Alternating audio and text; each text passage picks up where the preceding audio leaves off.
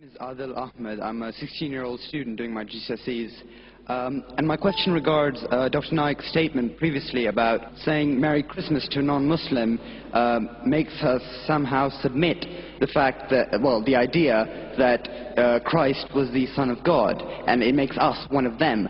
Now, that sort of shocked me in a sense that um, surely Allah, uh, in His uh, almightiness, would know that my intention to saying to someone Merry Christmas is, as you said, just to improve relations. Now, the thing is that most people, uh, at least of my generation, people who I come in contact with, don't actually celebrate Christmas uh, because they uh, celebrate Christ's birth, but actually it's a commercial thing to get the latest PS2 or whatever it is.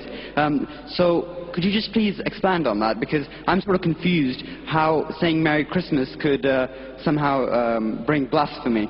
The brother asked a question that he wants to wish Merry Christmas to his friend so that he can build relationships. So tomorrow he'll ask me the question, why can't I have a peg of alcohol to build relationship? Why not? Why? What's wrong? Why can't I eat some pork with them? Why can't I go to church and worship Jesus Christ, peace be upon him? See, you don't have to do anything haram for doing dawah. For reaching the goals, you cannot use wrong means, brother. What is haram for them is haram for you also. When you are wishing Merry Christmas to them, you are agreeing that Jesus Christ, peace be upon him, was born on the 25th of December, and you are agreeing that he is the begotten Son of God, which is shirk. Why it is wrong? Because the Christians, they believe that Jesus Christ, peace be upon him, is the begotten Son of God.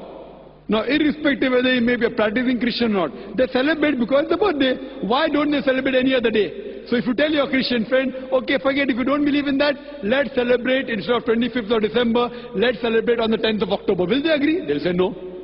But that does not mean don't do dawah. Why do dawah on Christmas? I ask them that this is the Christmas season. Why is it Christmas? So they tell me, oh, it's Christmas because Jesus Christ, peace be upon him, was born on 25th December. Who is this Jesus, peace be upon him? Oh, Jesus is the begotten Son of God. Then I tell him that can you prove to me from one unequivocal statement from the complete Bible where Jesus Christ, peace be himself says that he's God he says worship me. I do dawah. Why do you have to use wrong means for doing dawa? You ask the question, is saying Merry Christmas wrong means? I'm telling you it is wrong. Okay.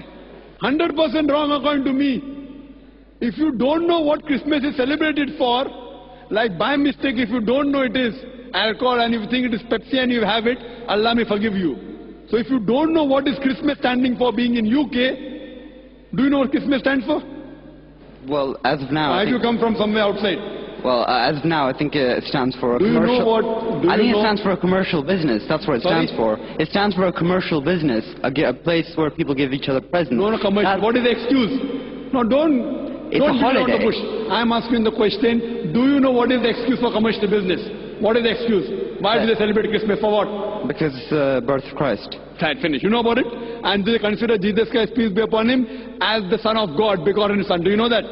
Yeah, I know that. But if I, you know that, and then if you wish Merry Christmas, it is haram. If you didn't know, if you're coming from Timbuktu,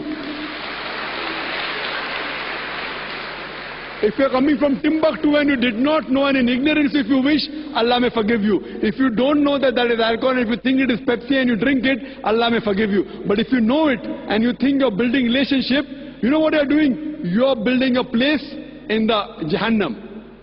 So therefore, brother, for reaching any good means, you never have to adopt wrong means. You have to go as the guidance of the Quran and the Sunnah. Hope that answers the question. Wa akhir dawan alhamdulillah.